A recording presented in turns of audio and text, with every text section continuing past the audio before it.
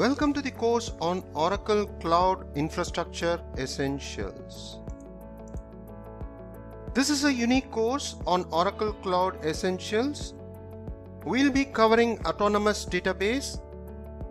Oracle, about a year back, has introduced Autonomous Database as part of the Oracle Cloud Infrastructure.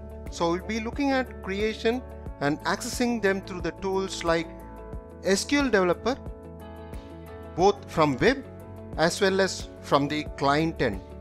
And also we'll be looking at Oracle Apex and then the machine learning notebook Zeppelin which is a part of the Oracle Cloud infrastructure.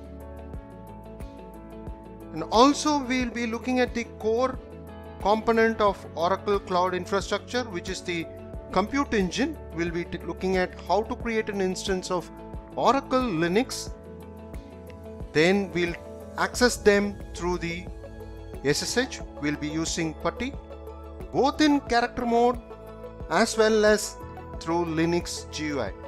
The reason I'll be, while I'll be covering G GUI part is some of the applications would require GUI. So something like the Jupyter notebook requires GUI. That is just an example, but many of the application requires GUI or a browser inside the Linux. So I'll be covering how to create a GUI environment. It's better if you have knowledge on the RDBMS part, the SQL as well as Oracle Linux command line commands. This will be beneficial to understand the course better. Regarding me, I'm Guharajan. I'll be the course instructor in this course.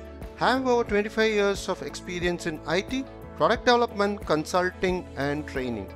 I have worked in GE, Capgemini, Oracle Consulting and education line of business. Regarding my education background, I'm bachelor in engineering with an MBA and a certified PMP as well since 2007. I've designed developed courses in ERP, software project management, Oracle Primavera, Internet of Things and many more. So once you have registered in the course, see you inside the course. Cheers!